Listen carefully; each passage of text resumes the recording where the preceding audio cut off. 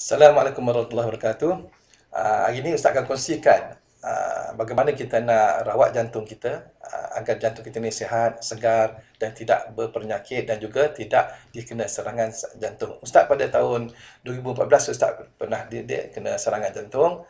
Uh, pada waktu itu uh, Ustaz sedang uh, mengajar di Johor dan pada waktu itu dah kena serangan jantung nasib baik uh, dah tak kena stroke dah hampir-hampir dah kena stroke dan semua tetapi Allah Taala lindungkan ustaz. Jadi sempat pergi ke hospital dan uh, lakukan stress test uh, dan kemudian uh, dia buat angio angiogram dan dapati ada lima ada enam uh, saluran darah ustaz tersumbat.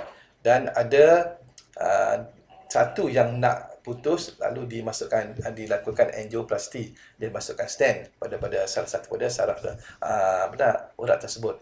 Jadi uh, selepas pada ustaz uh, lakukan angioplasty, sewaktu berehat tu ramailah kawan-kawan, sahabat-sahabat, anak murid apa semua datang datang ziarah dan mereka ada seorang tu ustaz. Satu ustaz satu ustazah. Dia mesej kepada ustaz ustaz ini saya nak bagi satu satu amalan pada ustaz iaitu uh, amalan untuk uh, menghindarkan kita daripada kena serangan jantung.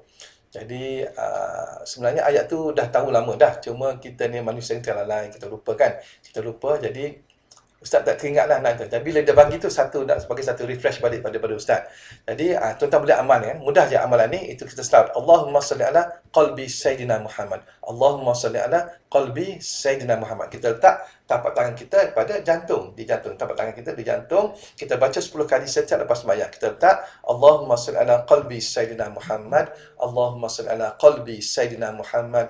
Allahumma salli ala qalbi Sayyidina Muhammad. InsyaAllah tuan semua.